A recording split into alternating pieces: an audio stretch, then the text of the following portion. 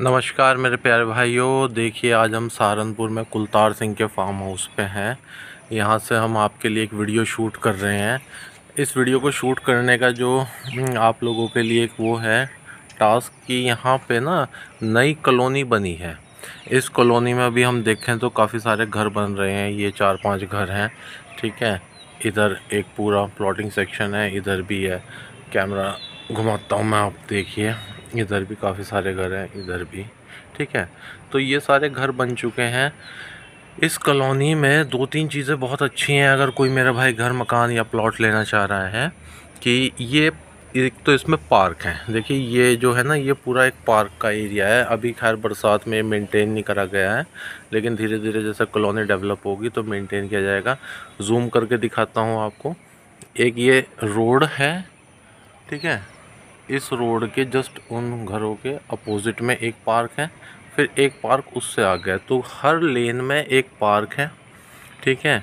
और civilised colony है। Civilised का मतलब है कि सीवर सिस्टम है इसके अंदर, ठीक है?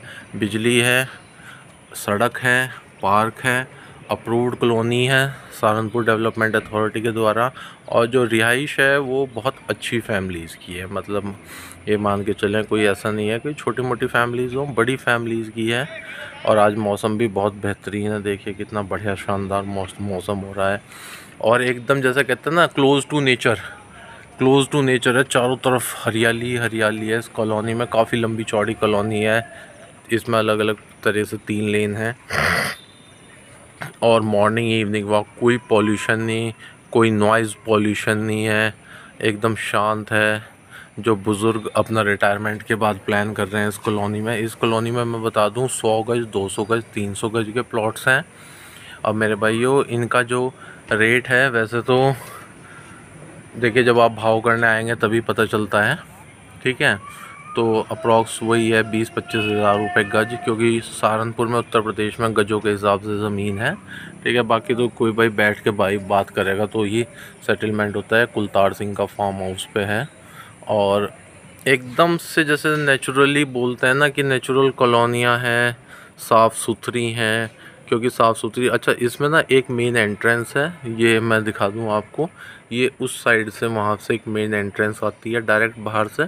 उस पर सिक्योरिटी गार्ड सीसीटीवी कैमरे वगैरह सब कुछ इंस्टॉल्ड हैं। तो मेरे जो भी भाई कोई प्लान कर रहे हैं, सोच रहे हैं इस तरह की कॉलोनी लेने का प्लॉट लेने का तो इसमें भी एज ऑप्शन चूज़ कर सकते हैं। लेकिन जो नियर बाई के हों, वही इसमें सोचने का प्लान करें, क्योंकि दूर का आदमी आएगा बाहर से तो थोड़ा सा कहीं ना कहीं मन में हो रहता है। वीडियो कैसी लगी भाइयों? कमेंट सेक्शन में ज़रूर बताइएगा। और जो है, प्लीज़ आप जो है, थोड़ा सब्सक्राइब ज़रूर कीजिए सो दैट कि मैं आप लोगों के लिए मोटिवेट रहूँ हमेशा। रोज़ कुछ ना कुछ नया, एक क्या हो रहा है, वो आप लोगों के लिए लेके आऊँ। तो प्लीज़ शेयर सब्सक्राइब लाइक और कमेंट ज़रूर कीजिएगा। Thank you